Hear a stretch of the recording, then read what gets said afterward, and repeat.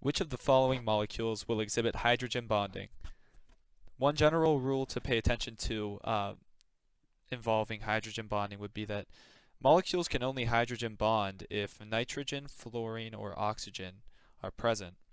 Uh, if you look at a molecule like CH4, you'll notice that none of these three atoms are connected to this molecule, leaving this one automatically not capable of hydrogen bonding if you look below, it's CH3F.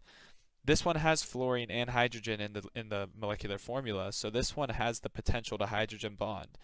But to actually discover if it is capable of hydrogen bonding, we need to write out the Lewis structure. So for this one, we're going to have our least electronegative molecule, which is carbon in the middle, surrounded by three hydrogens, and the carbon is attached to the fluorine. And when you look at this molecule, this one is not capable of hydrogen bonding because the fluorine is not directly connected to a hydrogen. If this fluorine had an H hanging off here, then yes, it would be. But for our purposes, fluorine being isolated and only connected to the carbon leaves this one not capable of hydrogen bonding. If we look below at acetic acid, we have CH3 COOH. And for this one, we're going to need to write out the Lewis structure.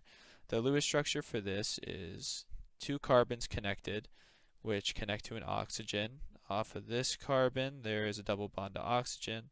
Off this one, we have three hydrogens, and then off of our oxygen over here, we have a hydrogen as well.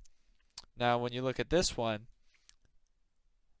hydrogen bonding is happening. We have oxygen directly connected to hydrogen, leaving this one capable of hydrogen bonding.